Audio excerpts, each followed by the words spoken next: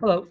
Today's goal is to show players how to pick up an item, like a sword or some sort of item they would use, and animate their character differently. Okay. So this isn't quite how it will look, but you need to have these things set up before you get started. So you will definitely need your tile map. You'll need a player sprite. You'll need move with commands, and obviously following around. Okay.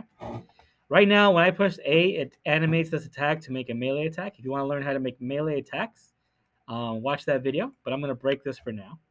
What we need to do is we need to have this guy, when he goes around, right now he can't attack because he doesn't have a sword.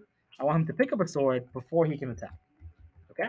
So first we have to make a sword sprite.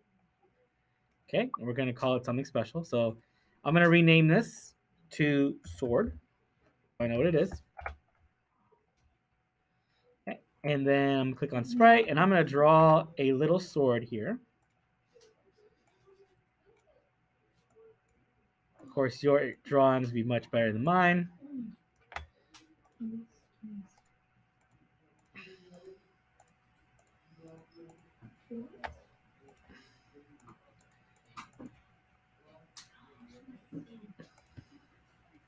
Okay, I'm also going to place this sword somewhere on my tile map.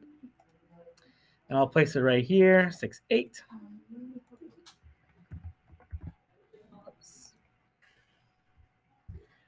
6, 8. And I have the sword appear right here. So he picks it up. I want him to be animated like he's holding a sword. Okay. Next thing we're going to do is we're going to change this set sword to sprite kind of player. We're going to change it. We're going to call it an item. And we're going to call it item sword. Yeah. Item sword. So then with that, we are literally going to change our sprite when we pick it up. So we're going to click on sprites. On sprite kind of player overlaps other kind of item sword we want him to be animated and look like he's holding a sword. Okay, so to best do that, we're going to set him to.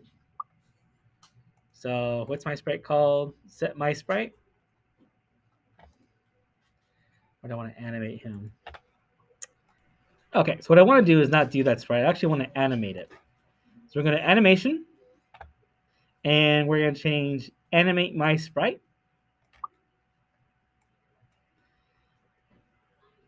actually, yep, we'll do animate my sprite. And we're going to turn, click here. We're going to find the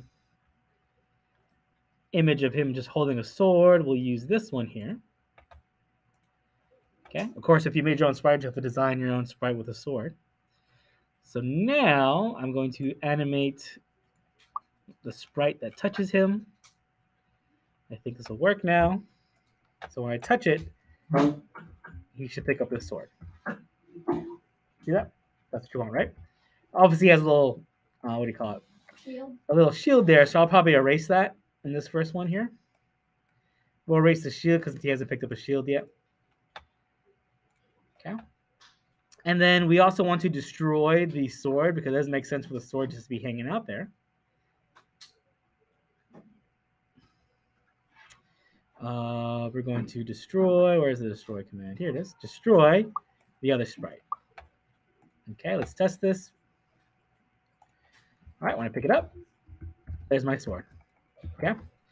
Now, we're also going to create a variable. So this is my melee attack here. I'm actually getting some logic. I'm going to create a variable called has sword. We'll capitalize this so it's easy to read. Has sword. And if he has the sword, I want him to swing his, his sword. If he doesn't have the sword, I don't want him to swing his sword. So go to logic, put this here. Variables. Has sword.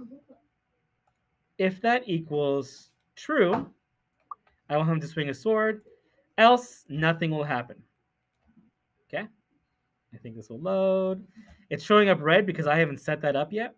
So in the beginning, I want to set up that variable set has sword to false because when we start the game, he does not have it. Set game to has sword to false. Duplicate this. When he picks up the sword, I want to set it to true. So then he can swing a sword. All right. So I pick it up. I can swing my sword. Refresh again. Right now, pushing A, nothing happens.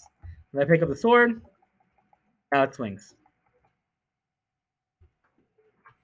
I also have to change this animation at the end of this to him holding the sword. Let me find that animation here. This last animation needs to be him holding the sword. So I'm delete this one.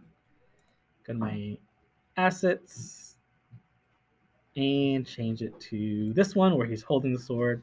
That's my last animation. All right, this should work now. Can't do anything without a sword. I pick it up. Now it works. Again, I have to do the sword there, but that's basically it.